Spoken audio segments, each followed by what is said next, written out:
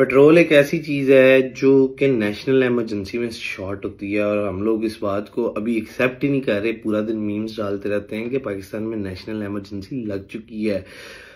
बहुत लोगों ने मुझे कल ये मैसेज किया कि जी डॉलर महँगा हुआ है आपको आप तो बड़े खुश हो के होंगे। भाई, मैं खुश नहीं हूँ। मेरी जो वर्थ है अगर डॉलर्स में मैं कमा रहा हूँ, उतनी है, वो बड़ी नहीं है। ठीक है, उल्टा जो लोग मतलब मेरी इवन फैमिली में भी जो रुपयों में कमा रहे हैं, वो गरीब हो गए हैं भाई। आप लोग अगर आज से एक साल पहले आपका एसेट से एक करोड़ रुपया वर्थ करते थे तो समझे उनकी मलियत जो है आधी रह गया वो है तो एक करोड़ रुपया आपके पास, लेकिन एक करोड़ लास्ट ईयर जो आप यूज़ करते थे परचेजिंग के लिए, वो समझ लो आप वो पचास लाख रुपया वर्थ करते हैं, बल्कि इससे भी कम वर्थ करते हैं। पाकिस्तान के अंदर महँगाई मजीद बढ़नी है, आप लोग इस बात को समझो। लेकिन हर बंदे को तो ओवरसीज होना है, पाकिस्तान से बाहर जाना है। मैं ओवरसीज पाकिस्तान, पाकिस्तानियों के खिलाफ नहीं हूँ, लेकिन मैं लोगों के बाहर जाने के खिलाफ हूँ। इसलिए इस सोच की वजह से नब्बे फ़ीसद लोग जो ये सोच रखते हैं ना कि हमने बाहर चले जाना है, उन लोगों को यही नहीं पता कि जिस पासपोर्ट पे आप बाहर जाने का सोच रहे हो, सिर्फ़ सऊदिया दुबई जा पाओगे, जिधर आपको इतने पैसे नहीं मिलेंगे। एक इंजीनियर जो पाकिस्तान से दुबई जाता है ना, अगर उसको छह लाख तनख्वाह मिल रही है ना, और वही जॉब पे एक इंजीनियर कनाडा से आया ना तो उसे पच्चीस लाख तनख्वाह मिल रही है। इतना फ़र्क है, आपके पासपोर्ट पे ये चीज़ बड़ी डिपेंड करती है। और अगर आप यूरोप या अमेरिका वगैरह जाने का सोच रहे हो तो अमेरिका के चांसेस आपके ज़ीरो पॉइंट कुछ परसेंट है, और यूरोप के चांसेस आपके वन पॉइंट कुछ परसेंट है जाने के। क्यों? आपके इस पासपोर्ट पे आपको वीज़ा नहीं मिल रहा। स्टूडेंट वीजे पे जाओगे स्टूडेंट वीज़ा ईजी है यूके का इस वक्त ईजी जा रहा है। लेकिन वो भी आपको उधर वर्किंग आवर्स नहीं मिलते। आपने इलीगल रहना है, उधर गोरी ढूंढनी है, शादी करनी है।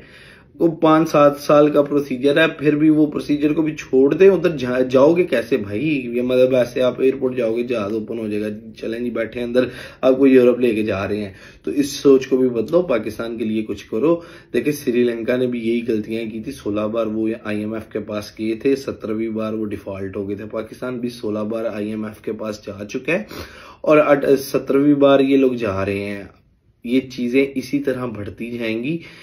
आपका मुल्क आज से सात महीने पहले मैं चूँकि एक एक्सपोर्टर हूँ तो मैंने सात महीने पहले ये अनाउंस किया था कि पाकिस्तान बैंक हो चुका है। और लोगों ने मुझे बोला था कि भाई कोई नशा नुशा करके आए कौन सा बैंक बैंक होता है तो अब ये होता है, वो होता है। भाई आप मसनू तौर पर चल रहे हो।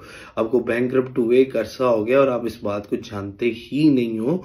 और अब अब अब वो टाइम है कि इस वक्त पूरी कौम, पूरा मुल्क, पूरी गवर्नमेंट पूरे पूरे इदारे कुछ एक्शन नहीं लेंगे इदारे और गवर्नमेंट तो इस वक्त भाग दौड़ में ही है ना कि किसी तरह बच जाए, इज़्ज़त रह जाए।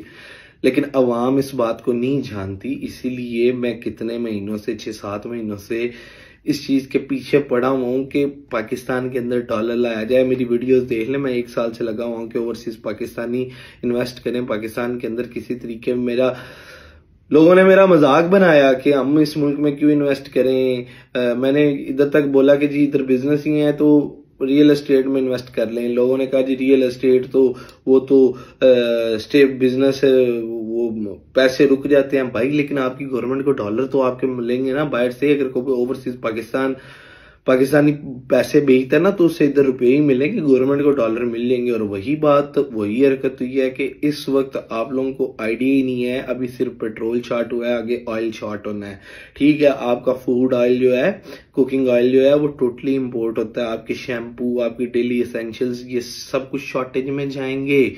और आप लोग इस बात को रोगे, पिटोगे, जिस तरह आज लाइनों में लग के पेट्रोल खरीदा है, कल को लाइनों में इसी तरह लग के आपने कुकिंग ऑयल खरीदना है।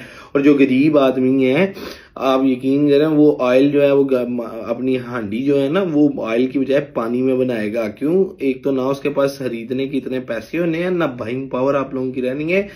ठीक है, और वो जब लाइन में लगेगा, वो अपने लिए नहीं, अपने मालिक के लिए लाइन में लगेगा ऑयल खरीदने पेट्रोल की टैंकियाँ आज आपने फुल करा ली हैं, ड्राइवरों को बेच के लाइनों में लग के ये सोच रहे हो कि आप हफ़्ता गुजर जाएगा हफ़्ते बाद क्या करोगे कि हफ़्ते बाद अगर पेट्रोल ही ना मिला और लिमिटेड पेट्रोल मिला जी के बाइक के लिए दो लीटर, गाड़ी के लिए दस लीटर, और आपने कहीं दूर जाना है तो उस वक्त आप क्या करेंगे? अगर आप रिक्शा चलाते हो, टैक्सी चलाते हो उबर चलाते हो, उस वक्त क्या करोगे?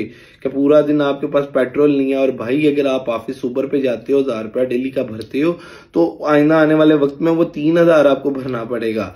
ठीक है इंटरनेशनल कंपनीज़ ये गाड़ियाँ जो है इस वक्त मोनोपली खेल रही हैं, इनकी प्राइसेस देखिए, अगर डॉलर